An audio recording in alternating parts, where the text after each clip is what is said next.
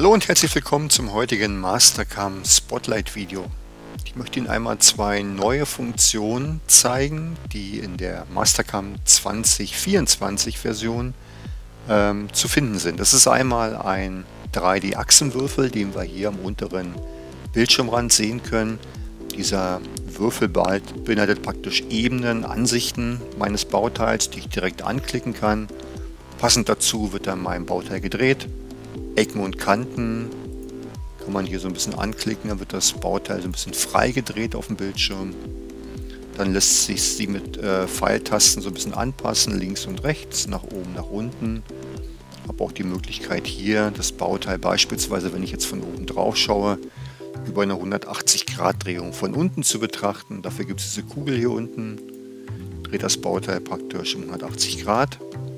Freidrehen natürlich klar, lässt es sich ebenfalls mit der Maus einfach. Durch einen Doppelklick kann ich hier mein Bauteil anpassen auf Bildschirmgröße, auch das ist möglich.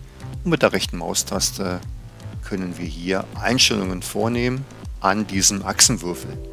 Beispielsweise Textgrößen, man kann die Größe des Würfels generell ändern, ja, ihn auch ein bisschen dimmen, schattieren und so weiter. All das sind Möglichkeiten, die wir hier haben, die wir natürlich auch dauerhaft voreinstellen können. Sage, okay, kann ich das Ganze übernehmen in die Konfiguration? Für mich erstmal nicht. Eine weitere Neuerung ist die grafische Anzeige von äh, Ebenen beim Bohren. Ich habe also hier im Bauteil eine Kombination aus drei Achsen und vielleicht auch hier an der Seite Fünfachsbohrungen.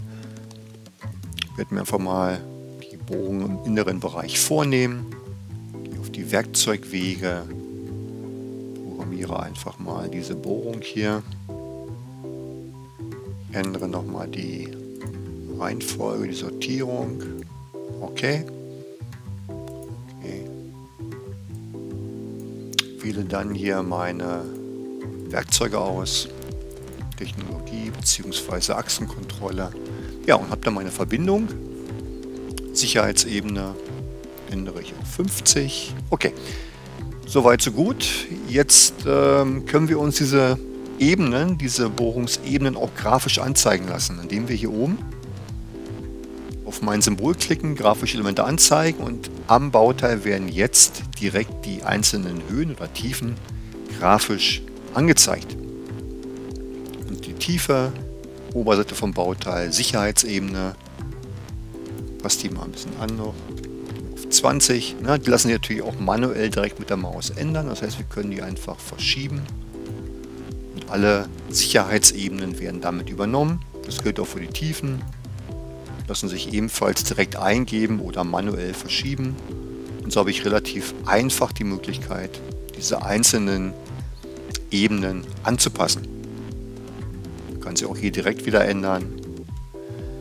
Ebenen lassen sich natürlich auch ausschalten. Das heißt, ich kann nur die relevanten Ebenen anzeigen lassen, blende die einfach hier in der Grafik aus und dann werden nur die angezeigt, die ich auch wirklich praktisch am Bauteil sehen möchte.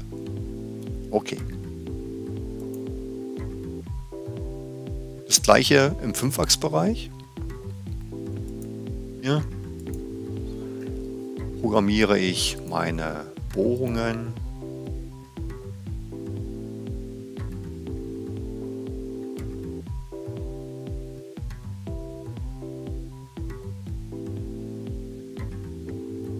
Ja, okay.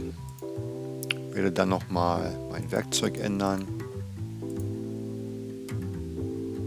Meine Achsenausgabe ist dann 5 Achsen. Okay. Auch hier können wir natürlich über die Verbindung unsere Ebenen grafisch darstellen. Hier gut zu sehen. Von der Tiefe her bin ich jetzt genau Bauteil Unterkante. Hier würde ich eventuell noch einen Spitzenversatz mit aktivieren. Diesen Spitzenversatz können wir uns natürlich auch hier mit am Bauteil anzeigen lassen und ihn nach Bedarf natürlich auch ändern.